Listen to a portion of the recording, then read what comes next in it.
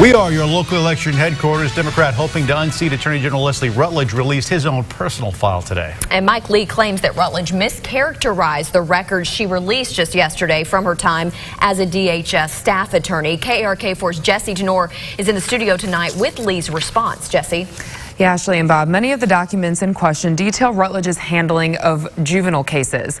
Rutledge says supervisors placed the disciplinary action form in her file after she left her job at DHS, and she doesn't know why. Lee says that's a very serious claim. He believes her supervisors would be upset that Rutledge quit her job effective immediately to work on Mike Huckabee's presidential campaign.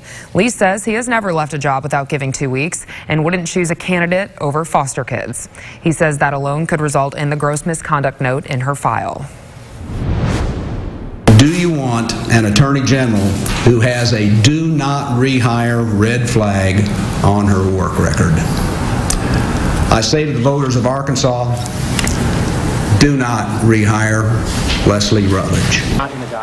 The Democrats' lawsuit to get Rutledge's personnel file still isn't over. Their attorney says DHS did not give him all of the files that Rutledge released to the media Wednesday. Chris Burks says he will continue to fight in court to get these emails between several of Rutledge's supervisors that talk about her resigning, not being fired. Back to you.